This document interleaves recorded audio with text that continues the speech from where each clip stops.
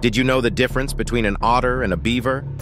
Beavers, nature's engineers, are generally bulkier and famed for their flat, paddle-like tails. Otters, sleeker, with streamlined bodies perfect for agile swimming. Strength? Beavers have powerful jaws for gnawing wood. Otters take the crown with their torpedo-like dashes underwater. Both are smart, but beavers are master dam builders, changing landscapes. Otters, with their tool-using abilities, especially sea otters with their rocks, are no slouches either. And let's not forget the beaver's iconic teeth or the otter's playful sliding antics.